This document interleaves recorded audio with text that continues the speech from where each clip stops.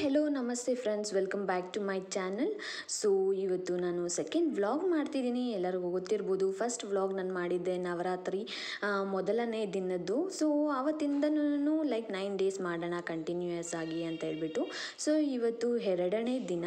So ಅದಕ್ಕೆ ಇವತ್ತು green ಕಲರ್ನ ಸೆಲೆಕ್ಟ್ ಮಾಡಿದ್ದೀನಿ. ನೈನ್ ಡೇಸು ಡಿಫ್ರೆಂಟ್ ಕಲರ್ಸ್ ಅಂತಲೇ ಇದೆ ನವರಾತ್ರಿಗೆ. ಸೊ ಅದಕ್ಕೆ ಮೊದಲನೇ ದಿನ ಬಂದ್ಬಿಟ್ಟು ಎಲ್ಲೋ ಕಲರ್ ಸೊ ಅದಕ್ಕೆ ನಿನ್ನೆ ಹಾಕಿರೋ ವಿಡಿಯೋದಲ್ಲಿ ಎಲ್ಲೋ ಸ್ಯಾರಿ ಹುಟ್ಟಿದ್ದೆ, ಅದಕ್ಕೆ ಮ್ಯಾಚಿಂಗ್ ಆಗಿರೋ ಒಡವೆಗಳು ಹಾಕಿದ್ದೆ. ಆ್ಯಂಡ್ ಇವತ್ತು ಬಂದುಬಿಟ್ಟು ಗ್ರೀನ್ ಕಲರ್ ಸೊ ಅದಕ್ಕೆ ಗ್ರೀನ್ ಕಲರ್ ಸ್ಯಾರಿ ಮತ್ತು ಒಡವೆಗಳನ್ನ ಇಟ್ಟಿದ್ದೀನಿ. ಹಾಕ್ಕೊಂಡು ರೆಡಿ ಆಗೋಣ ಅಂತ ಹೇಳ್ಬಿಟ್ಟು. ಸೊ ಫೈನಲಾಗಿ ಈಗ ರೆಡಿ ಆಗಿದ್ದೀನಿ. ಈಗ ದೇವಸ್ಥಾನಕ್ಕೆ ಹೋಗಬೇಕು.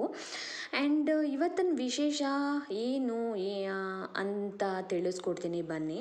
ಸೊ ಎರಡನೇ ದಿನ ಬಂದ್ಬಿಟ್ಟು ದೇವಿ ಬ್ರಹ್ಮಚಾರಣಿಗೆ ನಾವು ಪೂಜೆ ಮಾಡ್ತೀವಿ, ಆರಾಧಿಸ್ತೀವಿ.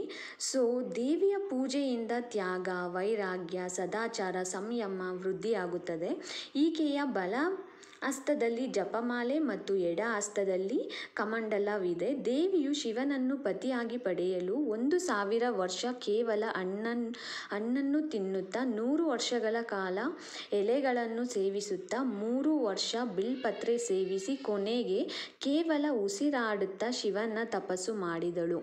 ಸೊ, ಈಕೆಗೆ ಪ್ರಿಯ ಆಗಿರೋ ಕಲರ್ ಬಂದ್ಬಿಟ್ಟು ಗ್ರೀನ್ ಅದಕ್ಕೇನೆ ಇವತ್ತು ಹಸಿರು ಬಣ್ಣದಿಂದಾನೆ ಲೈಕ್ ಇದನ್ನು ಈ ಪೂಜೆ, ನವರಾತ್ರಿನ ಸ್ಟ್ರಿಕ್ಟಾಗಿ ಯಾರು ಫಾಲೋ ಮಾಡ್ತಾರೆ, ಅವರು ಗ್ರೀನ್ ಕಲರ್ ಧರಿಸಿ ಫಾಲೋ ಮಾಡ್ತಾರೆ.